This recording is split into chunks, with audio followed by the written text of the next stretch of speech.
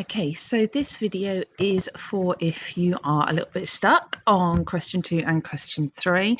Um, if you watch it before you do the questions, I'm going to give you lots of ideas um, that you will be able to use for your answers.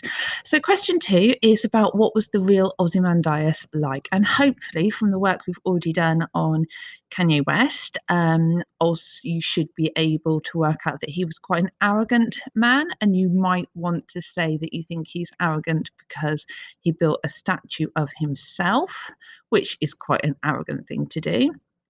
You might also want to talk about the fact that he was clearly powerful because he was a ruler of Egypt.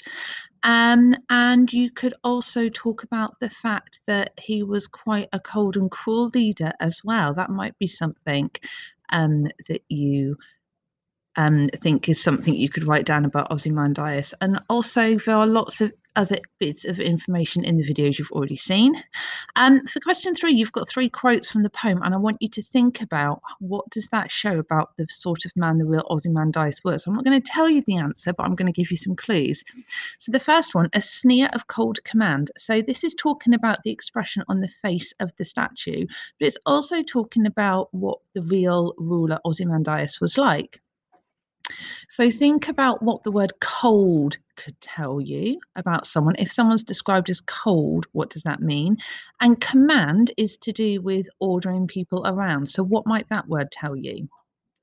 Uh, B, the quote is King of Kings. Now, this is part of the inscription on the pedestal of the statue. So remember that Ozymandias um, organised for this statue to be built about himself. And on the bottom of the statue, there's a pedestal, and on the pedestal is written um, a message from Ozymandias. And in part of that, he describes himself as King of Kings.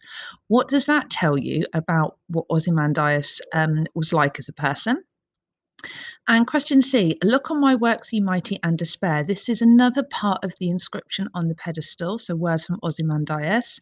Look on my works, ye mighty, and despair. So what that translates as, look at everything I have done, God, and despair. So why would he be telling God to look at everything that he's done as a ruler? Is he trying to compare himself to God? Does he think he's worse than God? Does he think he's better than God? If you were to think that you were better than God, what would that say about you as a person? So there's some ideas there that can help you.